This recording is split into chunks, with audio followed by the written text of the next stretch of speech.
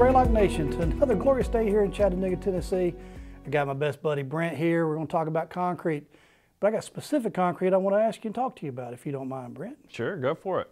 Just want to know, are you down with RCC? You know me, I am.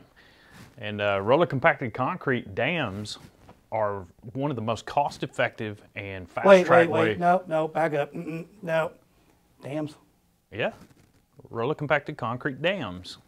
Is that not what you're talking about? Well, not. I'm not saying they're not there, but most time what I see is pavements. So we're going to talk about pavements too, right? Yeah, let's talk about pavement. I would rather talk about pavements. Actually. Well, we can still talk about the damn RCC if you want to.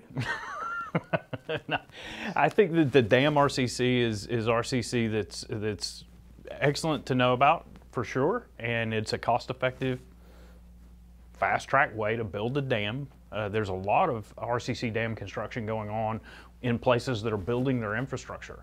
Uh, places uh, like uh, some of the rural areas of Africa and other places where they're they're building hydroelectric dams, uh, that kind of thing. But pavements, But real quick, before you get there, you talked about cost effective and, and quick paced. yes, I understand what RCC does and how it's quick paced, I'm sure we're going to talk about it from a pavement side. But an RCC dam versus a cast in place dam, why is it so much quicker?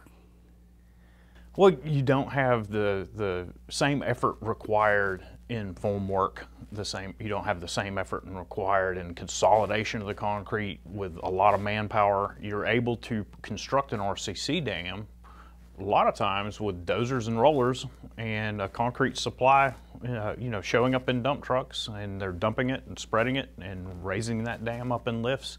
There's videos uh, out there. I know there used to be a group uh, on, a, on a site I was a member of that had an RCC dams group. It was really interesting. Yeah.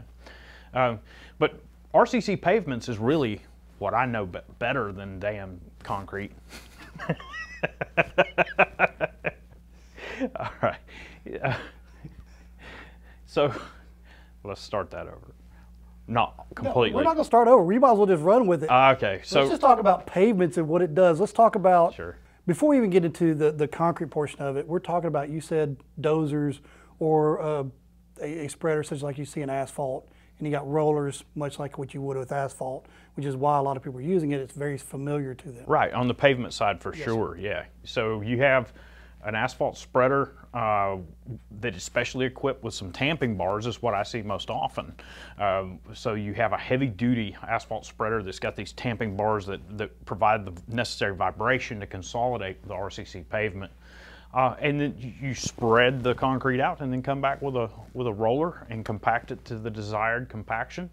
Uh, and there's different ways to determine that. Um, but uh, the main thing I wanted to call call your attention to was the, the differences in the mix Yes. from conventional concrete. Let's start with that. Um, roller compacted concrete can best be described as very, very low slump concrete.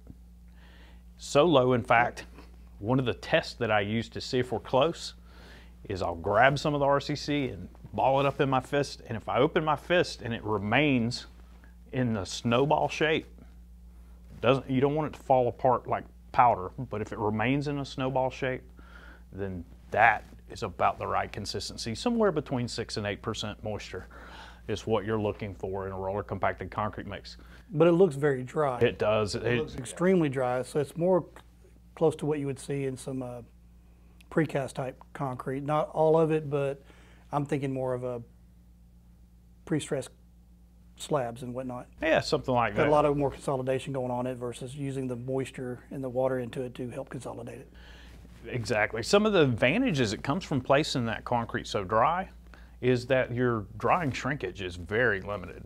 So you, the, the the cracking that comes from drying shrinkage is is much more limited than you would see on conventional concrete pavement.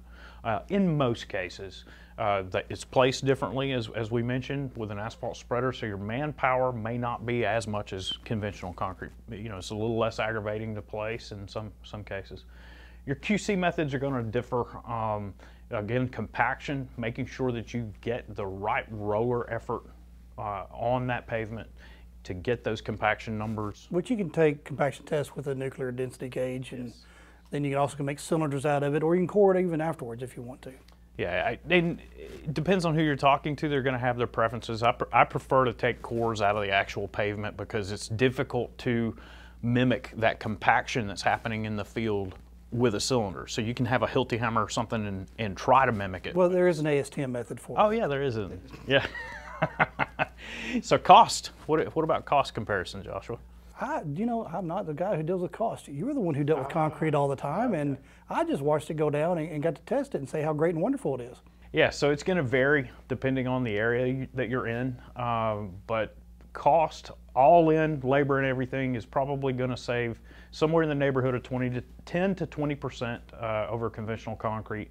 It's going to be a little more expensive over traditional paving materials, um, but there are some benefits on the durability side I was going to to ask some you, of those with this, we got a lot of durability because it does go down as quick as asphalt does, but the durability is going to last longer. Exactly, and you, that's the whole idea: is let's have structures that last a very long time. And if you really want to take the durability up, you can talk to us, give us a call, uh, give us, shoot us an email. And uh, S- Spray-Lock Concrete Protection products work very, very well on roller compacted concrete. We'd love to talk to you about it. So there's just a few examples of where RCC can be used from dams to pavements. If you've got any questions, let us know, like, subscribe, and tune in for the next video. Thank you.